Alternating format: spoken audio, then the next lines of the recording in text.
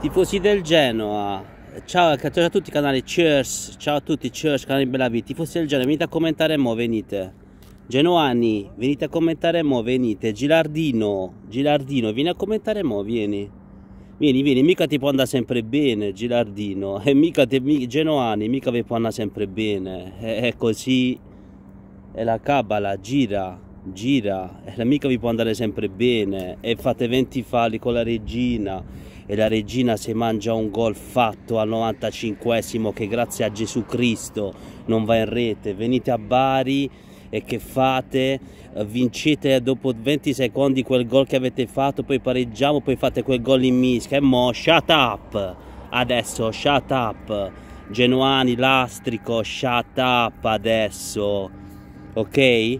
Niente ragazzi, io scusatemi questo piccolo preambolo, no? Perché naturalmente il Bari va a vincere a Bolzano col suo Tirol vince 1-0 una gara ben orchestrata dal mister Mignani il Bari che rimane dentro la gara per tutta la partita poi il suo tiro rimane in 10 Mignani che parte con una formazione un po' attendista ha la capacità poi di mettere dentro Ceter e Moracchioli e Moracchioli fa un gol ragazzi non solo un gol non solo un gol molto importante naturalmente perché giocavamo con la quarta in classifica. Io non vedo tanto la classifica per Scaramanzia ma fa un gol anche bellissimo di rapina, di tecnica, di interno destro a ingannare il portiere Bari che meritava la vittoria perché ha tenuto palla, ha fatto 65% di possesso palla e su tiro non ha mai tirato in porta su tiro non ha mai tirato in porta e niente, il Genoa è andato a pareggiare a Como 2 a 2, il Como ha fatto due gol, il Genoa vinceva 2 a 0, pensavano forse di aver portato la partita a casa, invece subiscono il pareggio e poi i genoani se ne vanno un po' al, all'inginocchiatoio, vanno in processione, come si dice, vanno a, a, a farsi confessare, eh? Eh, perché così ragazzi non può andare sempre bene, no? alla fine viene fuori. Il Genoa fa un gioco basato sulla fisicità e sull'agonismo, basta. E poi c'è Coda che è molto bravo e la mette dentro, e c'hanno pure un altro bravo tecnicamente, il resto agonismo. Quindi niente, il Bari con questa vittoria pazzesca che conferma il, il rullino di marcia fuori casa, è una squadra forte fuori casa, ha giocato solo il Bari oggi con su Tirol.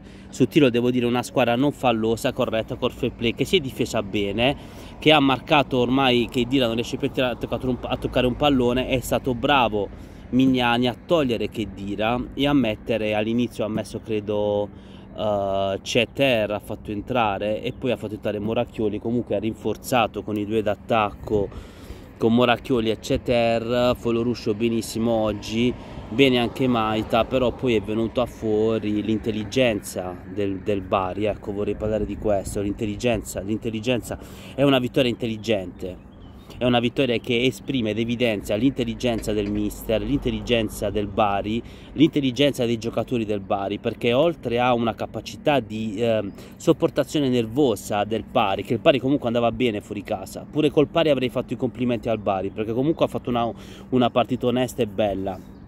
Poi questa vittoria è un premio che viene dato alla prestazione che mette in campo il Bari, è un premio perché io pensavo finisse in pareggio, però è un premio che viene dato alla prestazione perché il Bari oggi ha governato il campo a uh, Bolzano, ha messo in campo la propria personalità, la propria identità, vabbè.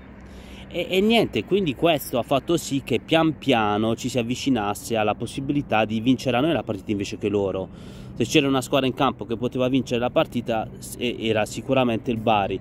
Adesso niente, i genoani vedono manifestarsi le loro più recondite paure perché a come era facile, vincevano già 2-0, tu dici vedi, vedi, anche i risultati degli altri. E beh ragazzi a questo punto della stagione con sei partite che mancano mi perdonerete ma vedo anche i risultati degli altri perché i risultati, il, la, i risultati del Bari eh, dipendono anche da quello che fanno gli altri naturalmente. Gilardino ne è andata fin troppo bene fino adesso, non può andare sempre bene, mi dispiace, non può andare sempre bene.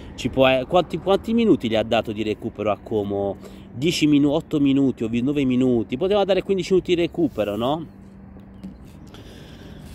E niente ragazzi, il Bari adesso ha in tasca una vittoria che magari, che, che, che um, come dire, uh, slatentizza, uh, realizza un'epifania dei peggiori incubi dei tifosi del Genoa, dato per scontato che Frosinone comunque oggi ritorna a vincere, e uh, il Bari vince 1-0 fuori casa a Bolzano io ci credevo un po' però complimenti al mister complimenti a Moracchioli perché pensate che il gol viene dall'assist di Ceter e il, il, il gol di Moracchioli se non è bravura di Mignani di un mister questa qual è?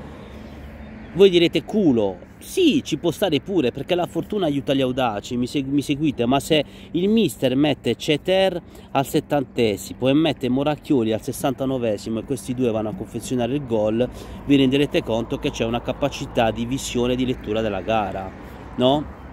Io potrei parlare per 10 minuti potrei parlare per 10 minuti, potrei dire che nel calcio ognuno si merita quello che ha, il Genoa si merita i punti che ha, il Frosinone si merita i punti che ha e il Bari si merita i punti che ha.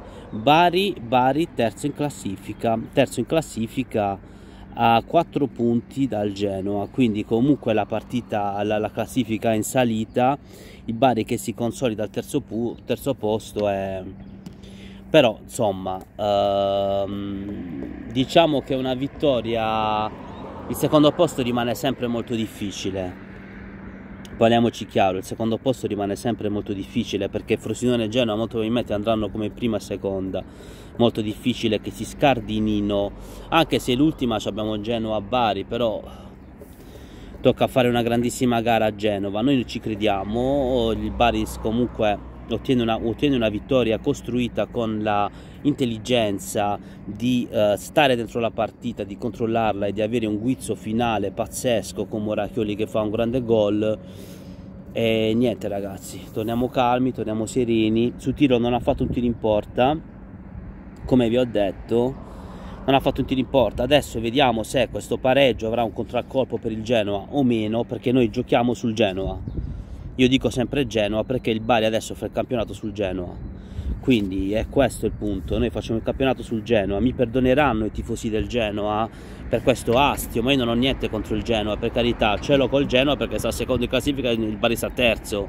Cioè se il Genoa stava in Champions League, che me fregava a me del Genoa, mi seguite, ma il Genoa sta secondo, il Bari sta terzo, l'ultima è Genoa-Bari, per i genoani l'ultima è già vinta, eh, ma si deve giocare la partita prima cari amici genoani, l'ultima di, di, Serie B è Genoa-Bari, ma la dovete giocare perché se sono meno di tre punti vediamo come va a finire, è il bello dello sport, è uno sport, è un gioco, eh, siamo lì, ci divertiamo per questo, mi seguite, perché non si sa se va avanti una, va avanti l'altra, vince una, pareggia l'altra, è normale questo, no?